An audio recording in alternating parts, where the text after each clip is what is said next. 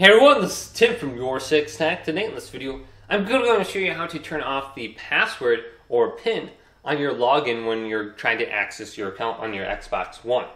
Now to do this, it's very easy to do. We want to go up to the top and go to Settings and select this.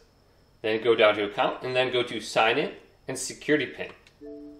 Then I'm going to type in my PIN right now and go to the bottom left where it says Change My Sign In and Security Preferences then go down to custom, and then go to the right. And we're looking for ask for my PIN at sign. When you turn on the setting, we are asking for your PIN when your profile is chosen from the sign-in list. So we want to go to PIN not required down here, and then we can just sign in by selecting our profile without typing in a specific password. So hopefully this quick video did indeed help you out. If it did, leave it a big thumbs up and subscribe to my channel down below for more tech videos coming up next on Your Six Tech.